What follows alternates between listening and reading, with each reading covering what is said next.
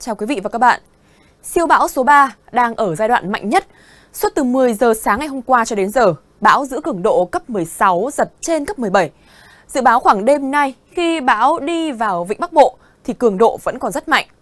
Đến 7 giờ sáng mai, tâm bão sẽ nằm trên khu vực phía bắc của vịnh Bắc Bộ. Cường độ mạnh cấp 12 đến cấp 13, giật cấp 16. Sau đó, bão sẽ đi vào đất liền, khu vực Quảng Ninh, Hải Phòng, Thái Bình và Nam Định. Với hoàn lưu rộng lớn, ngay từ trưa nay, bão sẽ gây gió mạnh cấp 6 đến cấp 7 cho vùng biển phía đông của vịnh Bắc Bộ, bao gồm đảo Bạch Long Vĩ.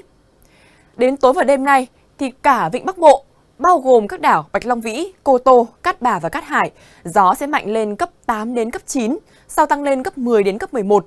Vùng gần tâm bão đi qua mạnh cấp 12 đến cấp 14, giật cấp 17, biển động dữ dội.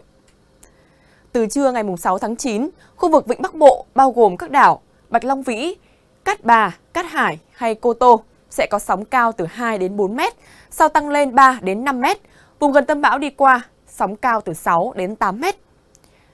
Huyện đảo Hoàng Sa trong ngày hôm nay cũng tiếp tục có gió mạnh cấp 7 đến cấp 8, giật cấp 10. Riêng vùng biển phía Bắc, gió mạnh cấp 9 đến cấp 10, giật cấp 12. Trời mưa bão và biển động rất mạnh. Ở vùng biển từ Quảng Trị tới Quảng Ngãi, từ hôm nay gió cũng mạnh dần lên, cấp 6, giật cấp 8, biển động. Trời mưa rào và rông, khả năng xảy ra lốc xoáy và gió giật mạnh. Hai ngày tới thì mưa gió sẽ còn tăng lên. Do gió mùa Tây Nam hoạt động mạnh, vùng biển từ Bình Định vào đến Cà Mau, ra ngoài khơi, quanh huyện đảo Trường Sa cũng có gió mạnh cấp 6 đến cấp 7, giật cấp 8 đến cấp 9, trời mưa rông, tiềm ẩn lốc xoáy và gió giật mạnh nguy hiểm.